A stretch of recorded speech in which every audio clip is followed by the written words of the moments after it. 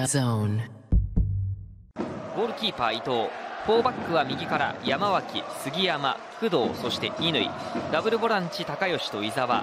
右に岡野林平。左に前節ゴールの高寸陣。トップ下藤原。ワントップはエースストライカー永井。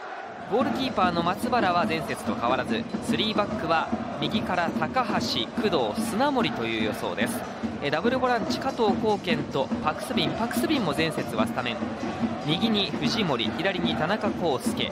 ツーシャドウは今シーズン初スタメンには J デビューの橋田。そしてワントップ注目の木原と挙げましたが、まあ、この辺りはゲームが始まってからポジション含めて確認していきたいと思います。ここには高橋康平。右に藤森。橋田がスペースにで受けようとしましたがちょっとイメージ合いませんでした。パスもずれる。奪った。岡野林平前を向く。味方の上がりを待ちますがあここで奪った。さあ庭橋田。抜けてきた。シュート!正面でした。J デビューの橋田直樹。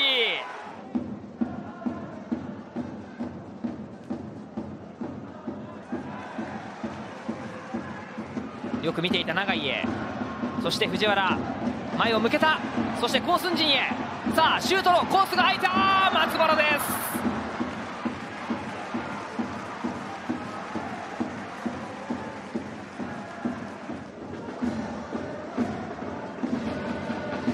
中に絞ってきました田中。バックスビンから加藤光健もう一度バックスビン。そして右スペース藤森。乾が対応しますが左足でのクロス。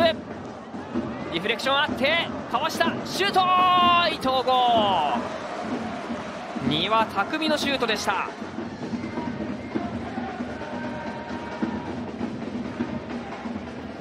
直接いった!枠は捉えられませんでした。しかしやはり大きな武器です。藤原健介のプレースキック。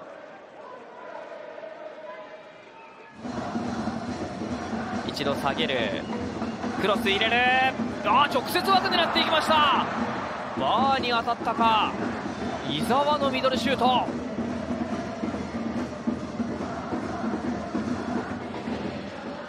こういうアタッキングサードでの細かいパス回しは長野のスタイルでもありますがメンバーは大きく変わっています。加藤貢献。かわしますが奪った。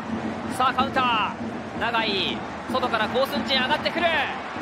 枚数は4対3となっているコース陣出た。かわしてあっと松原よく弾いた。北九州は大チャンス。長野なんとか防ぎました。そしてカウンター。橋田。北九州を遅らせられるか。上がってくるのは37番の高橋康平。そしてパクスビン。中に木原残っている。ミドルを狙っていく伊藤剛。なんとか弾いた。パクスビンの高い精度のシュート。北九州の大チャンスの後はカウンターから長野がチャンスを作りました。若谷かわして長井へ長井背負いながらゴールの方向いた右足!キーパーワンタッチありました。あただゴールラインではなくタッチライン割っています。いや相手を背負いながらストライカー長井亮。岡野。木山ワンタッチで若谷から長井落としてさあここ高橋ミドル打てるか？ミドル打っていった！決まった！高吉翔馬だ J 初ゴール！この大事な試合大事な局面！ホーム最終戦で北九州のファイターがやりました！高吉翔馬半の35分。貴重な貴重な J 初ゴールはプレーオフを諦めない。先制弾になりました。桐蔭横浜大学から加入2年目。ボックス2ボックスを掲げる運動量豊富なボランチの高吉が抑えの効いたミドルシュート。相手ディフェンダーに少し当たって方向も変わりました。大きな J 初ゴール。天皇杯では J1 新潟相手にゴールも決めました。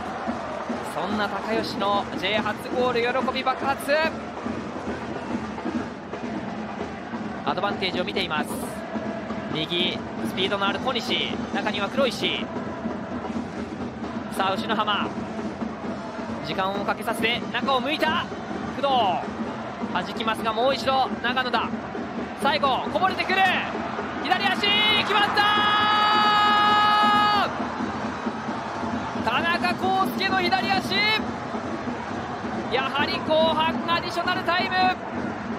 北九州にとって大きな課題のこの時間帯。田中康介が振り抜いた左足。ゴールに突き刺さっていきました。同点。長野が土壇場絶対に勝ち点1を持ち帰る。そんな思いを感じる最後のシュートでした。1対1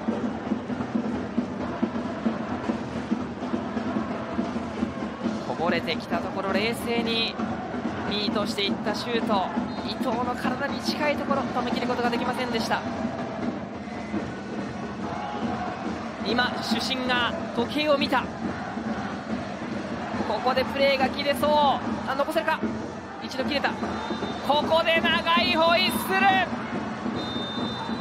先制北九州。目の前まで来ていた勝ち点3がするりと逃げていった。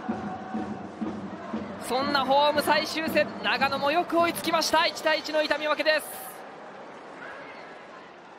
勝ち点3が必須だった両チーム。勝ち点1を分け合う結果。The Zone.